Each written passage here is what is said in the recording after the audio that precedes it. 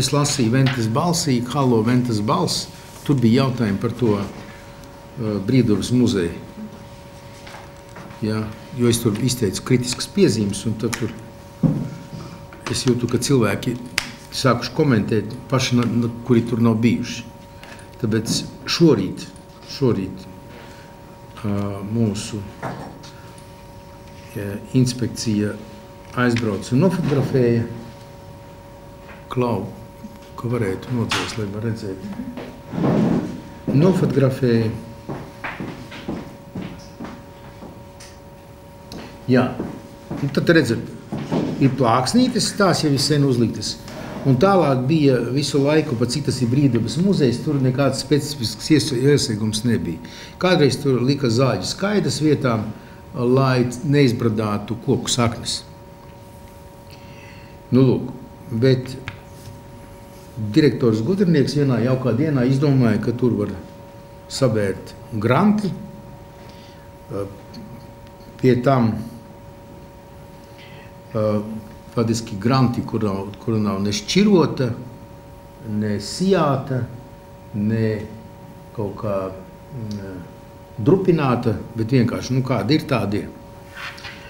Un, diemžēl, pirmkārt, tas ir brīvdabas muzejs, un lai tur ierokotu celiņus, tas ir atbildīgs lēmums, jo viņam jāiet sinhroni ar to kopējo iekārtojumu, un tas ir projekta jautājums. To, to nevar tā, ka viens pēkšņi izdomā un ieliek celiņa segumu tādu, kādu viņš uzskata par vajadzīgu. Tā nedrīkst būt.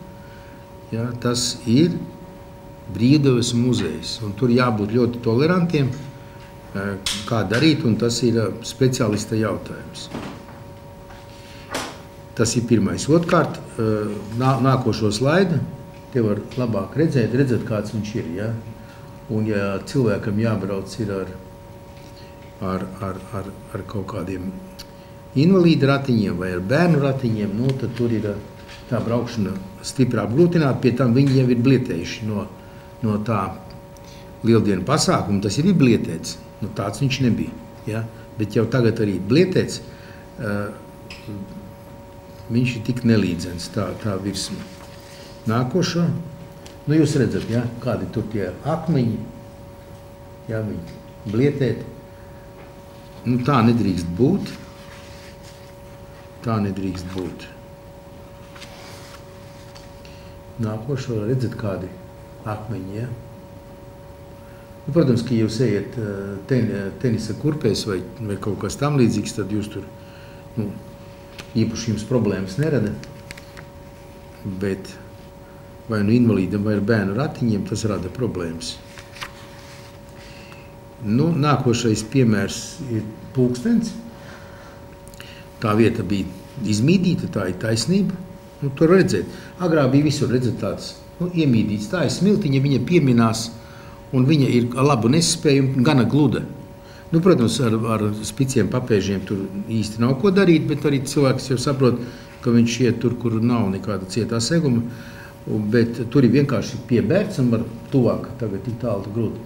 Piebērts atkal ar kaut kādām, kaut kādu granti vai kaut kādu acījām vai kaut kāds, nu, jo jūs redzat, ne, tā nav sijāta, ne, ne, tur ir gan, gan lielas frakcijas, gan mazas frakcijas, aizbērts vienkārši aizbērts un viss.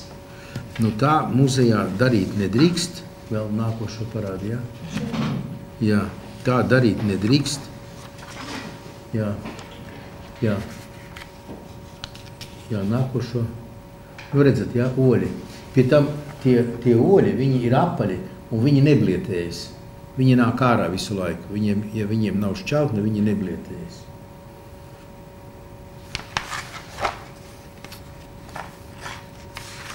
Nu, ar to bija saistīts mans sašutums. Tad pirmkārt ar to, ka patvaļīgi tiek ierīkots segums, izvēloties to segumu, kā ienāk prātā no tādiem materiāliem, kā, kas pagadās pie rokas, nu, tā nedrīkst būt. Tā nedrīkst būt. Te nav nekāda sāģa.